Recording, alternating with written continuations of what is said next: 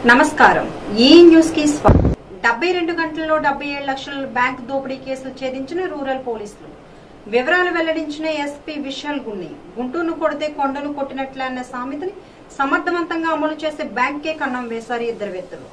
ఆర్థిక ఇబ్బందుల్ని అధిగమించేందుకు దొంగతనం చేయడం ఎలా అని యూట్యూబ్ వీడియోలు చూసి నల్గొండ జిల్లా మిర్యాలగూడకు చెందిన ఇద్దరు వ్యక్తులు కేదారి ప్రసాద్ వినయరాములు దచ్చేపల్లిలోని ఎస్బీఐ బ్యాంకులో డెబ్బై ఏడు లక్షలు దోచుకు వెళ్ళారు జాగిరాలు గుర్తుపట్టకుండా పని పూర్తి అయిన తరువాత పరిసరాల ప్రాంతంలో కార్యం చల్లి వెళ్ళిపోయారు దీంతో సంబంధిత బ్యాంక్ అధికారులు పోలీసులకు ఫిర్యాదు చేయడంతో రూరల్ పోలీసులు ఎనిమిది బృందాలుగా రంగంలోకి దిగి సంకేత పరిజ్ఞానం సహాయంతో డెబ్బై రెండు గంటల్లో డెబ్బై ఏడు లక్షలు చోరీ సొత్తును స్వాధీనం చేసుకున్నారు. దీంతో కేసును ఛేదించడంలో ప్రతిభ కనుబరిచిన తమ సిబ్బందిని ఎస్పీ విశాల్ గుణ్ణి ప్రత్యేకంగా అభినందించారు.